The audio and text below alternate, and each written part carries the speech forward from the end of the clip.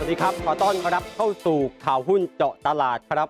วันนี้วันพุธที่ 14 กันยายน พุทธศักราช 2559 พบกับผมธนชัยนันทครครับ มาติดตามประเด็นข่าวที่น่าสนใจสำหรับวันนี้กันก่อนครับ ดัชนีดาวโจนส์ปิดตลาดปรับลดลงเมื่อคืนนี้หลังจากนักลงทุนกลับมาวิตกกังวลเกี่ยวกับเรื่องของธนาคารกลางสหรัฐหรือเฟดจะปรับขึ้นอัตราดอกเบี้ยนโยบายอีกครั้งหนึ่ง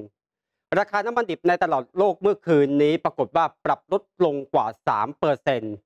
ขณะที่แนวโน้มตลาดหุ้นเอเชียเปิดทำการในช่วงของเช้าวันนี้นิกเกอีของประเทศญี่ปุ่นนั้นเปิดตลาดในแดนบวกแต่หลังจากนั้น 30 นาทีก็ลงมาอยู่ในแดนลบสำหรับแนวโน้มตลาดหุ้นไทยในวันนี้ มีโอกาสที่ดัชนีนั้นจะปรับลดลงจากแรงขายทำกำไร ในช่วงของหุ้นในเทวันนี้เราจะไปเกาะติดกับบริษัทกันกุลเอนจิเนียริ่งจำกัดมหาชน นักวิเคราะห์หลักทรัพย์ต่างยังคงแนะนำให้ซื้อ